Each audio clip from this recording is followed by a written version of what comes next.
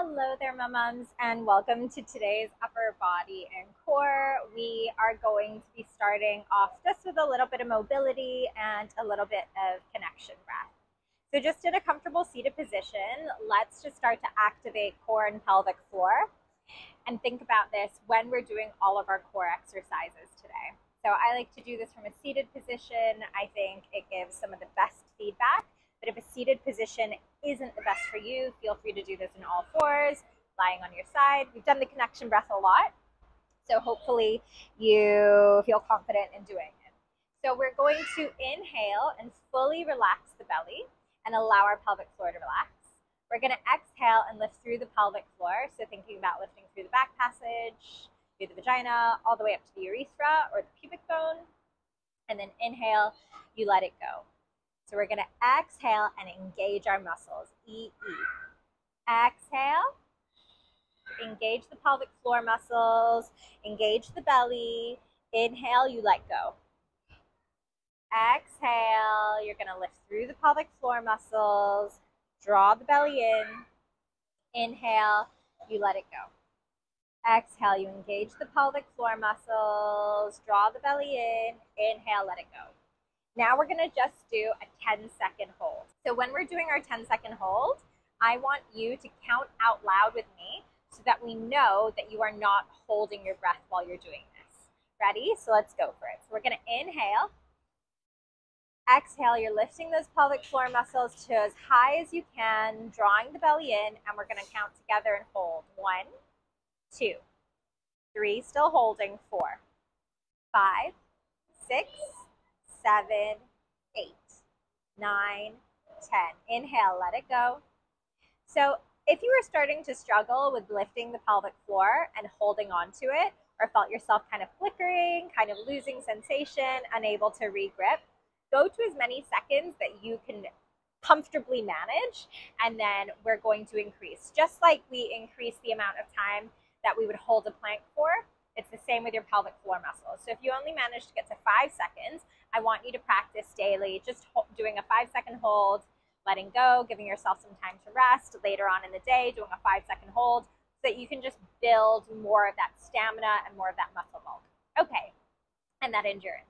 All right, let's get into it. So let's just take it up and over. Nice big stretch through the side, and then inhale, take it up, and then up and over. Nice big stretch through the rib cage, through the side of the body. One more on either side. Inhale, taking it up and over.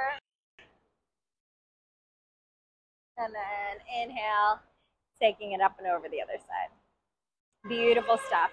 We are going to now round through the spine as if we're going to hit the opposite corner of the room. We're coming back to center, and then same thing, we're going to round through the spine, hit the opposite corner of the room. Good stuff.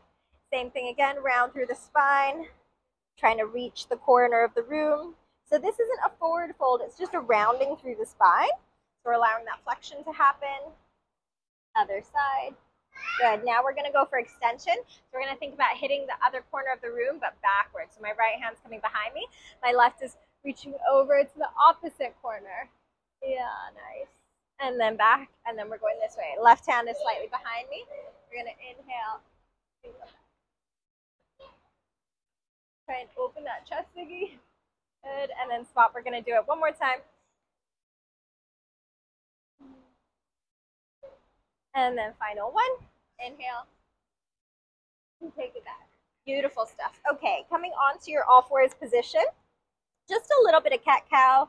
So just lining your shoulders and wrists up, spread the fingertips. Imagine that your fingers are gripping onto the floor. Point your elbow joints towards each other. Just bring the chin and the neck back. Check in between the knees that your toes are hidden behind your knees and your knees are right underneath your hips, not too close together, not too far apart. From there, you're just going to inhale and give me some cat Exhale, second round, trying to articulate through the spine, vertebra by vertebra if you can. And on these cats, angry cats, I want you to let your head go and really drop the head, allow it to relax. On the inhale, try and stretch the neck as much as possible. One more time. Inhale. Beautiful stuff. Thoracic. So we're going to loop our left hand through the right. Exhale, see if you can get your shoulder onto the floor, twisting through the thoracic spine. As you inhale, you're going to look up, take the hips with you. Exhale, loop it through. Inhale, back up. I like to take my hips with me when I do this rather than locking the hips and just isolating the thoracic because it makes it a little bit easier. So what that means is I wouldn't move my hips. I would just try and open from here. But I feel like a lot of moms can't get that nice range and it really hurts in the back of the shoulder. We're going to loop through, right hand is going to go through the left, looping it through. And then we're going to inhale and then come back up. We're going to come through. And then inhale, coming back up. And then loop it through. And then last one, coming back up. Beautiful stuff. Okay, we only have two rounds of this today, so I want you to try, if you can, to do the harder version first. We're to start off with our staggered push-ups. So that is knees are behind the hips one arm is right in line with the shoulder, one is slightly in front. So if it was a clock face, it would be two o'clock and seven. We're gonna tuck the pelvis, keep the tummy tight. You're gonna come down as low as you can, press back up. If you are very good at push-ups, you can go from a high plank position, coming down, pressing back up. Or if you're somewhere in between those two, you can go down, splat, knees, lift. Okay? You choose your variation. We are going to go for it. Are you ready? Off we go. Oh, we're going to alternate arms in between. Okay. Ready? Off we go. So, coming down, pressing back up, swapping arms.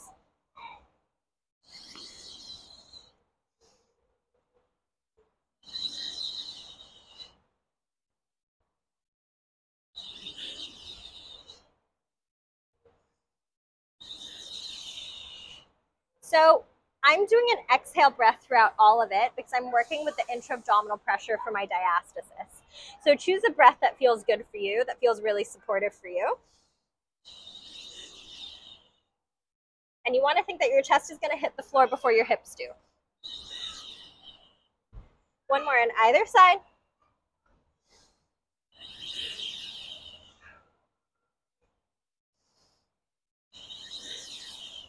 Nice stuff into our prone swims. This one we're going to be lying on the floor. Your forehead is on the ground. And we are going to squeeze the bum, squeeze the legs. See if you can take legs off, arms up, and then draw a circle with the arms. Elbows try and touch the floor. Lift up as much as you can. Undo that circle, coming back down. Eight reps. Off we go. Exhale. Squeeze your everything up. Nice big circle. Touch the elbows to the floor lift them up as high as you can. Undo that nice low circle. And so if it feels like too much to take the legs off the floor, keep them on the floor so that you're not feeling it in your lower back because you want to be using the glutes and the core to help you do this. Try and touch. Lift up. Good. Four more reps. Exhale and lift. Rotate around. Try and touch and back down. Three. Good mobility. Down. Up. Touch. Lift. And around. Up. This is the last one, I think. Down. Back up. Good stuff. Alrighty. Whew. You're going to go for a side plank with a thread the needle. So you have the option to do this from you have the option to do this from a bent knees position. So if we're doing it from that bent knees position, the arm is coming up and then you're trying to loop the arm through as much as you can without the hips driving up. Okay? So trying to keep the hips nice and level. If you have the ability, we're gonna go, uh, we're gonna do it from a side plank position with the legs elevated. So you'll be here. You're to loop through as much as you can and then back up. Okay, so you choose your variation. Three, two, one, off we go. Recruit the core before we lift. So inhale, relax the tummy. Exhale, lift through the pelvic floor and core. Coming up, so you're nice and engaged. Exhale, draw that belly in even more. And then up.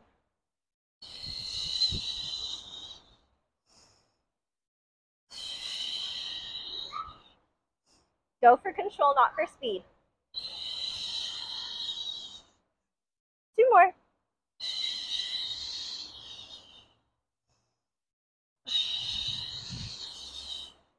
Whew, good stuff. I hope that lower oblique, the one that's closest to the floor, the one with the stabilizing arm, really feels it. Okay. Other side. Ready? Three, two, one. Exhale, lift up. Recruit that core.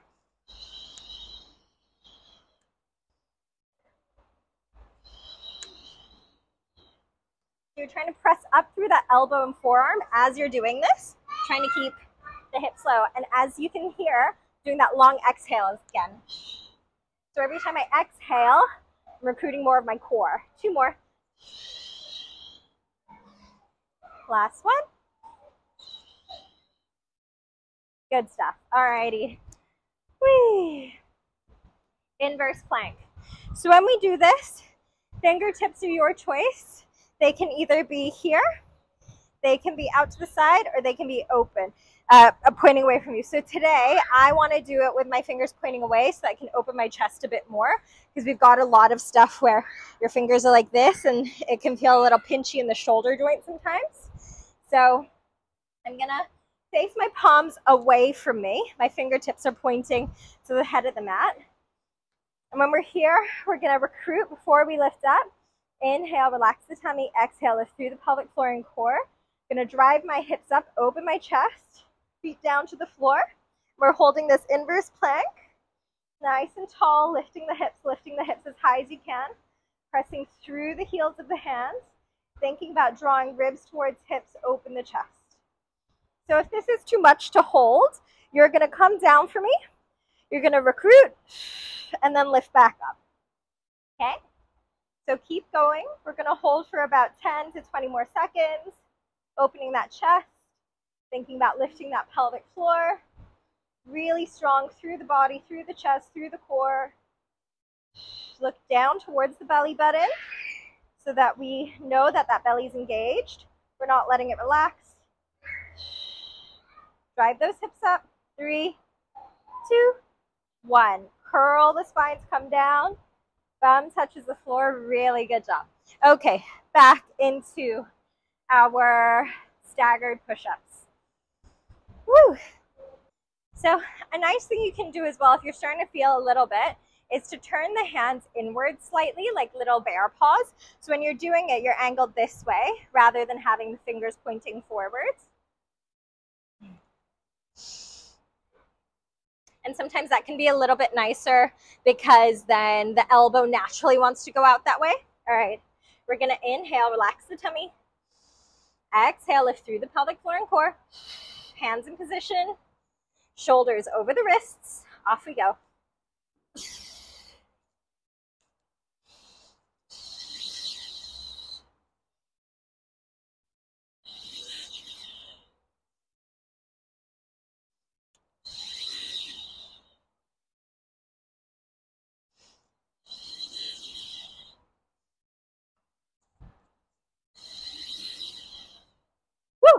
One more, either side.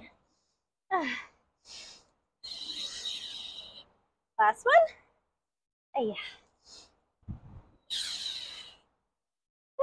Good stuff. Alrighty, into our swims. So now you have the option. You can either do the circle or you can come for your I, pull in, Y, pull in, T, pull in. Okay? Ready? Bellies are on the floor. Inhale. Now exhale, engage the core. Lift the feet off if it's good. Lift the upper back. I pull in. Extend out to your Y. Pull in. T. pull in. So we're trying to activate the lats. Coming down, reset. Exhale. Draw the belly in, squeeze the bum, lifting up. I, elbows come in, out to your Y. Elbows come in, out to your T. Elbows come in. Reset. Exhale. Lift up. I, thumbs to the ceiling. Y. T. Oh, I forgot to pull in. Inhale, exhale, off we go. Lifting up for your I. Pull the elbows in. Y. Elbows in. T. Elbows in. And then down. All right, three more. Inhale. Exhale, engage. Thumb, legs, arms, I. Pull it in with the elbows. Y. Pull them in. T. Pull them in. Nice job. All right, two more. Exhale. Shoulder health is health. Y. T. It is posture. Last one. Exhale. I. Pull it in. Y. Pull it in. T. Pull it in and rest. Good stuff. Ooh, side planks with our thread the needles.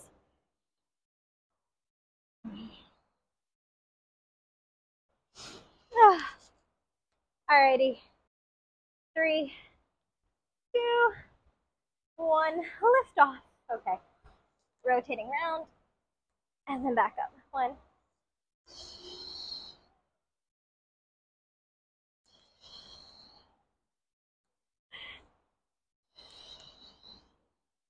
Reach through as far as you can. Good stuff. Two more. Lift those hips. Last one. Ooh. Wee. Wee. A jazzy fizzle. Product shizzle. Alrighty, left side. Or other side. Ooh. Engage the core before you lift up. Exhale, through the pelvic floor. Off we go. Driving up, exhale. Rotate.